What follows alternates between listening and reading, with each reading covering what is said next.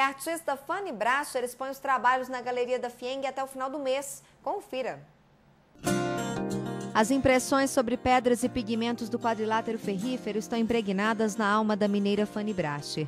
Há 44 anos, a artista reside em Ouro Preto, tendo explorado a beleza silenciosa das paisagens e das minerações, dos ossos e dos resíduos orgânicos e minerais. Agora busca no fundo dos rios, nas cores e cintilâncias, o substrato para compor sobre lonas, telas e objetos.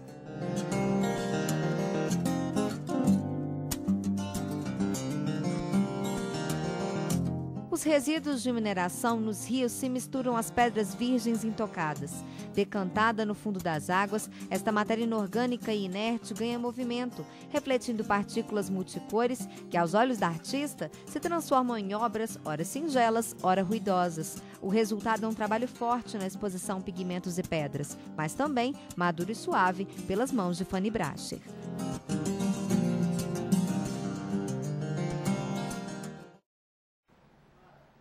A exposição fica aberta à visitação até o dia 25 de outubro na Galeria da Fieng, que fica na Praça Tiradentes.